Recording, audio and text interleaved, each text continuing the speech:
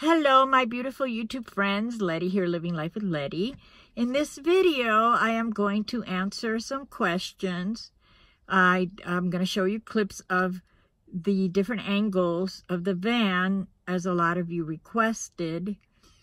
I am also going to show you a picture that my friend Beth took because we have cowboys and cows being herded in the forest it appears that rangers are able to uh, rent uh, national forest land. And uh, I tried to Google it to see how that works, but I couldn't find anything on it. So I don't know how these ranchers are able to use public land for their cattle.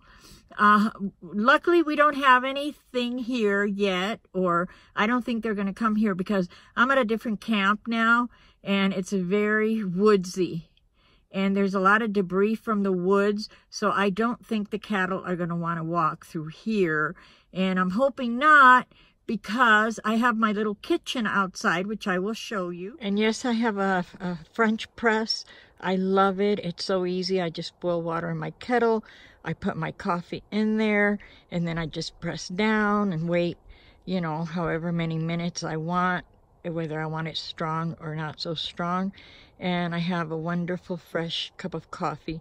So this is my little kitchen setup. And, uh, you know, I would certainly hate to see them trample over that. And can you imagine if a herd of cattle came through here, my little kitchen would be totally destroyed. And so, but we haven't heard anything that, you know, they're going to be coming to this camp. They're more out where there's more clearings because unfortunately they are clearing the forest. They're cutting down so many trees. It's so sad. And so you see a lot of clearings now where before it was just very dense forestry. So, and the other thing before I show you all the clips is I want to thank Kimberly, Miss Bliss, and Jeffrey for donating to my channel. Thank you so much. I really, really appreciate it. All the money that I have received has really helped me to buy things that I needed desperately, like my French press coffee pot, which you saw in the little clip. And I also got that um, stainless steel mug, uh, like a travel thing. It's a half a gallon and it keeps ice for like three days. I kid you not. It is so good. So I just go into gas stations and uh, ask them if I could fill it with ice and they always say yes.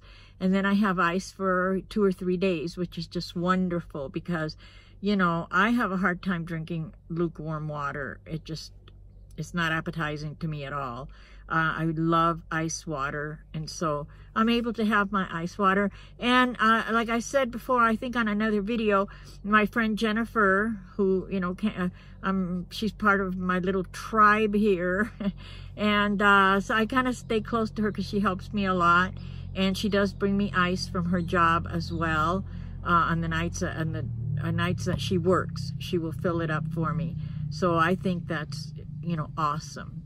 So I'm going to show you now the clip of the van um, so you can see. This is the view from the passenger side. Okay. Then I'm going to come closer and show you view from me in the outside. So as you can see down below are all my things. And this is a view from the passenger side. There. This is okay. view from the back of the van. I hope you can get a good shot of it. But this is a view of the back. And as you can see, I have all my stuff that I've already explained in other videos. And uh, there's my table with all my things that I need for in the morning and at night.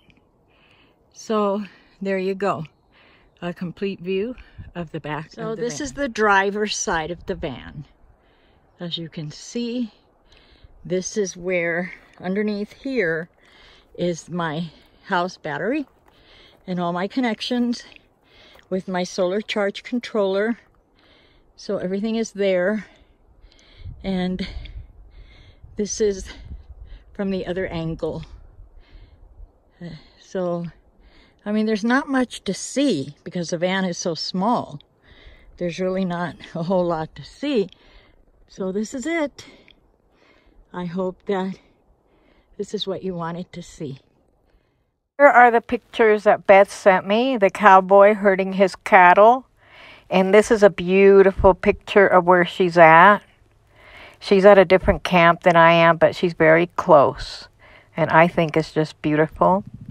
Well, I hope you enjoyed the little clip of the van and also the pictures that Beth sent me. And, um, you know, I hope you enjoyed all that. I I'm telling you, I just love the forest. It was really hard. It was very, very hard at the beginning. But once I got adjusted and I got myself situated and better organized where I have everything where I can reach, um, things are a lot smoother and I just love it here. Uh, but I, you know, I, I dread having to go home, but I do have to go home. Um, and besides the fact that I think by next month it may start getting cold here, so I have to head back home. Anyway, this is it for now, my friends. I love you all. Um, I hope that if you are new to my channel, please subscribe and hit the bell so you'll know when my next video is going to be. And um, I love you all, and may the sun shine on you today and every day, especially on your solar panels. Bye-bye.